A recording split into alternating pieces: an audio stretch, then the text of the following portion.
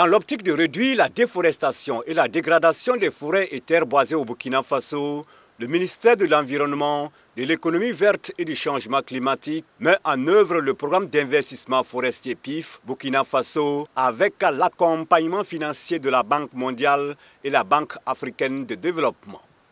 Le programme met un accent particulier sur la promotion et l'appropriation par les acteurs du monde rural, producteurs agricoles, éleveurs, mais aussi les techniciens étatiques de l'agriculture, de l'élevage et de l'environnement, des bonnes pratiques agro-silvopastorales, étant donné que l'une des principales causes de déforestation et de dégradation des forêts au Burkina Faso est la mauvaise pratique des activités agro-silvopastorales. Allons à la découverte de quelques-unes de ces bonnes pratiques agro-silvopastorales.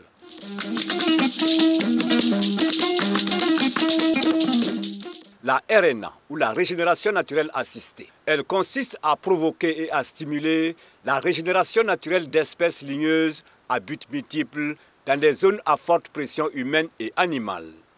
Il s'agit pour le producteur de choisir délibérément et de préserver certaines espèces utilitaires dans son exploitation agricole, à travers des techniques de sélection, de coupe de rejet, de creusage de cuvettes de rétention d'eau, de pose de tuteurs et de protection à l'aide d'une grille, le producteur offre ainsi plus de chances à certaines espèces d'être préservées et de participer à la reconstitution du couvert végétal, à la restauration du sol et à la biodiversité.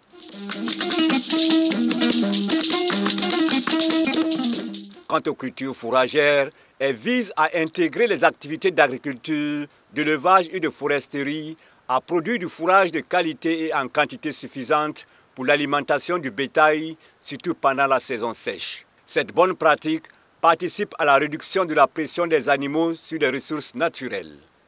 Aussi, en optant pour des variétés à double objectif telles le maïs, le niébé et le sorgho fourragé par exemple, cela a d'énormes avantages production de graines pour la consommation humaine et animale, mais aussi du fourrage pour améliorer l'alimentation du bétail, toute chose qui accroît sa productivité. Le producteur peut aussi récupérer ses terres dégradées à des fins agricoles ou pastorales. Cette bonne pratique permet d'assurer la régénération du couvert végétal, de protéger les sols et d'améliorer les productions agro-silvopastorales de réduire l'insécurité alimentaire et particulièrement chez les animaux. À travers la réalisation de diguettes anti-érosives, de demi-lunes, de poquets de sur des terres entièrement dégradées ou dénudées, le producteur pourra réutiliser de nouveau ces terres pour cultiver soit des céréales, soit du fourrage pour les animaux.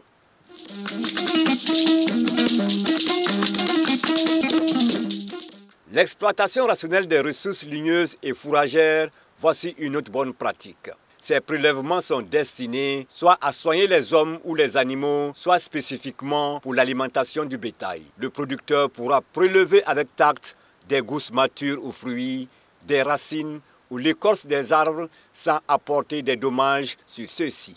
Cette bonne pratique contribue aussi à la préservation de la biodiversité et la conservation des ressources ligneuses et fourragères.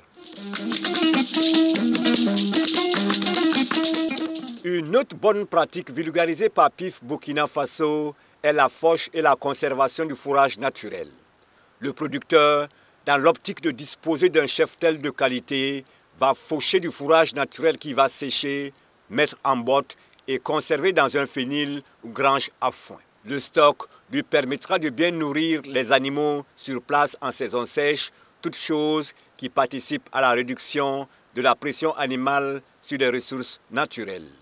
Aussi, les animaux nourris avec ce fourrage de qualité produisent plus de lait, de viande et mettent bas régulièrement des veaux robustes.